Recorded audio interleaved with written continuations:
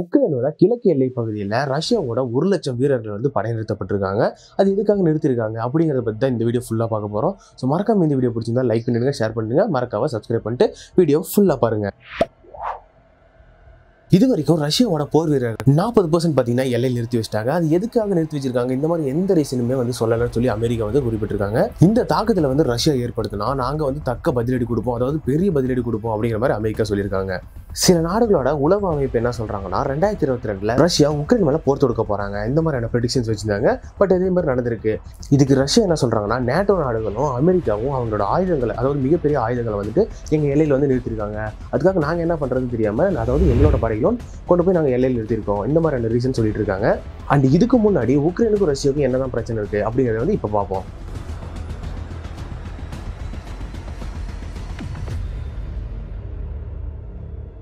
Nineteen நைன்டிஸில் பார்த்தீங்கன்னா Ukraine வந்து Soviet யூனியனோட ஒரு பார்ட்டாக தான் இருந்திருக்கு அதாவது சோவியத் யூனியன் சிதந்த எப்போ பார்த்தீங்கன்னா இது வந்து தனி நாடாக அறிவிச்சிருக்காங்க. அண்ட் சுதந்திரமும் கொடுத்து நீங்கள் தனி நாடாக இருந்துக்கோங்க. இந்த மாதிரியான ரூல்ஸ் போட்டு அமைச்சிட்டாங்க. அண்ட் நெக்ஸ்ட் பார்த்தீங்கன்னா உக்ரைனோட எல்லைகள் பார்த்தீங்கன்னா ரஷ்யாவும் ஐரோப்பாவும் வந்து பகிர்ந்துட்டு தான் வராங்க. அதாவது பார்டர் எல்லாமே இந்த கண்ட்ரிஸோட கூட இணைஞ்சு தான் வருது. அண்ட் இது மட்டும் இல்லாமல் ரஷ்யாவோட ட்ரெடிஷன் எல்லாமே உக்ரைனும் ஃபாலோ பண்ணி தான் வராங்க. அதாவது கல்ச்சர் ஃபுல்லாகவே அங்கே என்ன என்ன பண்ணுறாங்களோ அதே இங்கேயும் பண்ணிட்டு இருக்காங்க ஆல்ரெடி அண்ட் இப்போவும் அதே மாதிரி தான் பண்ணிட்டு இருக்காங்களாம். உக்ரைனில் பார்த்தீங்கன்னா ரஷ்ய மொழி பேசுகிறவங்க இப்போ வந்து அதிகரிச்சுட்டு வராங்களாம். அந்த மாதிரி இருக்கும்போது இந்த மாதிரி சூழ்நிலை எதுக்காக இந்த எல்லையில் வந்து போர் எடுக்கணும் அப்படிங்கிற மாதிரி வந்துட்டு உக்ரைன் வந்து கேள்வி எழுப்பியிருக்காங்க. அதுக்கு அமெரிக்காவும் வந்து பார்த்தீங்கன்னா ஒரு சப்போர்ட்டில் தான் இருக்காங்க. இந்த போர் எப்போ ஸ்டார்ட் ஆகுதுன்னு பார்த்தீங்கன்னா அதாவது ஸ்டார்டிங்கில் ஆரிஜின் வந்து எங்கே ஆகுதுன்னு பார்த்தீங்கன்னா ரெண்டாயிரத்தி பதினாலில் அப்போ வந்து அதிபர் விக்டர். இவர் பார்த்தீங்கன்னா ரஷ்யாவுக்கு ரொம்பவே ஆதரவாக இருக்காரு. அதனால என்ன பண்ணுறாங்கன்னா பதவி விட்டு நீக்கிறாங்க. இந்த மாதிரி யார் யாரெல்லாம் ரஷ்யாவுக்கு சப்போர்ட் பண்ணுறாங்க இந்த மாதிரி ஆட்களை வந்து பதவி விட்டு நீக்கிறது வந்து பழக்கமாக வச்சிருக்காங்க. அப்போ வந்து டூ தௌசண்ட் ஃபோர்டீன் அப்போ. அப்போ ரஷ்யா என்ன பண்ணுறாங்கன்னா பக்கத்தில் உள்ள கிரிமியாங்கிற ஒரு ஏரியா வந்து கைப்பற்றுறாங்க. அது பார்த்தீங்கன்னா என்ன பண்ணுறதுன்னு தெரியாமல் உக்ரைனும் விட்டுறாங்க. அண்ட் நெக்ஸ்ட் பார்த்தீங்கன்னா இதுவே அந்த போருக்கு வந்து ஸ்டார்டிங்காகவும் அமையுது. அப்புறம் ரஷ்யா பார்த்தீங்கன்னா கொஞ்சம் கொஞ்சமாக அந்த இடத்துல அதாவது எல்லைகள் அந்த கிழக்கு எல்லைகளில் பார்த்தீங்கன்னா கொஞ்சம் கொஞ்சமாக கைப்பற்றிட்டு வராங்க. அது என்ன பண்ணுறது தெரியாமல் உக்ரைனும் கொஞ்சம் கொஞ்சமாக லைட்டாக சப்போர்ட் பண்ணிட்டு வராங்க. அப்போ தான் ஒரு போர் ஸ்டார்ட் ஆகுது. என்னன்னு பார்த்தீங்கன்னா ரஷ்யா உக்ரைனுங்கிற ஒரு போர் ஸ்டார்ட் ஆகுது. அதாவது ரூசோ உக்ரைனுங்கிற ஒரு போர் வந்து ஸ்டார்ட் ஆகுது. இந்த போரில் பார்த்தீங்கன்னா பதினாலாயிரத்துக்கு மேலே வந்து உயிரிழப்பு ஏற்படுது. இந்த போர் வந்து ரொம்பவே எல்லாத்துக்கும் தெரியப்படுது. அதாவது மக்களுக்கு வந்து எல்லாத்துக்கும் தெரிய ஆரம்பிக்குது. இந்த உலக நாடுகள் என்னென்ன பண்ணிருக்காங்க? இந்த மாதிரியான ஒவ்வொரு போர் விஷயங்களையும் மக்கள் தெரிஞ்சுக்க ஆரம்பிக்கிறாங்க. எல்லாரும் சப்போர்ட் பண்ண ஆரம்பிக்கிறாங்க உக்ரைனுக்கு. அப்புறம் பார்த்தீங்கன்னா அமெரிக்கா கொஞ்சமாக சப்போர்ட் உள்ளே வராங்க. நெக்ஸ்ட் பார்த்தீங்கன்னா டூ தௌசண்ட் ஃபிஃப்டீன் இப்போ வந்து யார் அதிபராக இருக்காங்க? அது உக்ரைனுக்கு யார் அதிபராக இருக்காங்கன்னு பார்த்தீங்கன்னா பெட்ரோங்கிற ஒருத்தர். அப்புறம் ரஷ்யா பார்த்தீங்கன்னா புதின் தான் வந்துட்டு பிரசிடென்ட்டாக இருக்காரு. இவங்க ரெண்டு பேத்துக்குள்ள ஒரு ஒப்பந்தம் நடக்குது. என்னன்னு பார்த்தீங்கன்னா நம்ம வந்து எல்லைகள் வந்து பிரிக்க வேணாம். நம்ம வந்து சேர்ந்து செயல்படுவோம். எந்த மாதிரியான பிரச்சனைகளும் வேண்டாம். இந்த மாதிரியான வந்து ஒப்பந்தங்கள் போடுறாங்க. அந்த ஒப்பந்தத்துக்கு பேர் பார்த்தீங்கன்னா மின்சாக் ஒப்பந்தம்னு பேர் வைக்கிறாங்க. அது எதுக்காக பார்த்தீங்கன்னா அதாவது எல்லைகள் நடக்கிற போரை வந்து நிறுத்துறதுக்காக இந்த வந்து ஒப்பந்தம் போட்டிருக்காங்க. அந்த ஒப்பந்தம் பார்த்தீங்கன்னா செயலில் தான் போகுது. ஏன்னா என்ன பண்ணுறதுன்னு தெரியாமல் உங்கள் இடம் எங்கள் இடம் அதாவது எல்லைகள் வந்து பிரச்சனை நீடிச்சிட்டே போகுது. இதுவரை வரைக்கும் இருபதுக்கும் மேலே வந்துட்டு பார்த்தீங்கன்னா போர் நடந்திருக்கு. ஆனால் எந்த போர்லையுமே அந்த ஒப்பந்தம் வந்து செயல்படலையா? அதாவது இது இதுதான் பண்ணியிருக்காங்க.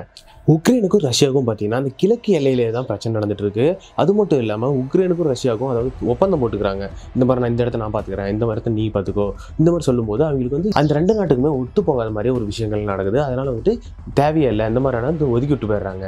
அதுக்கப்புறம் பார்த்தீங்கன்னா உக்ரைன் வந்து தன்னோட நிலப்பரப்புகளை மீட்டெடுக்கணும். அது மட்டும் இல்லாமல் தன்னோட இறையாண்மை வந்து நிலைநிறுத்தணும்.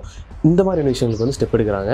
அப்போ ரஷ்யா என்ன பண்ணுறாங்கன்னு பார்த்தீங்கன்னா கியூ நகரத்தை சேர்ந்த அதிகாரிகளை வந்துட்டு கிழக்கு உக்ரைனுக்கு வந்து அனுப்புகிறாங்க எதுக்காகனா அங்கே போயிட்டு நீங்கள் வந்து சிறப்பந்தஸ்து கேளுங்க. அங்கே போய் நீங்கள் சிறப்பந்தஸ்து வாங்குங்க. எங்களுக்கு சிறப்பந்தஸ்து கொடுங்க அப்படிங்கிற மாதிரி ரஷ்யாவும் முன்னெடுத்து வைக்கிறாங்க. அதுக்கு வந்து உக்ரைன் பார்த்தீங்கன்னா மறுக்கிறாங்க.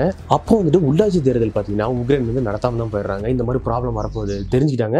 அது மாதிரி நடத்தாமே விட்டுறாங்க. அண்ட் நெக்ஸ்ட் பார்த்தீங்கன்னா இதனால் வந்துட்டு ரஷ்யா என்ன சொல்கிறாங்கன்னா சொல்றாங்கன்னா எங்களுக்கு வந்து ஏன் சிறப்பந்தஸ்து தரல? அந்த மாதிரியான கேள்விகள் வந்து உக்ரைன் வைக்கிறாங்க ரஷ்யா.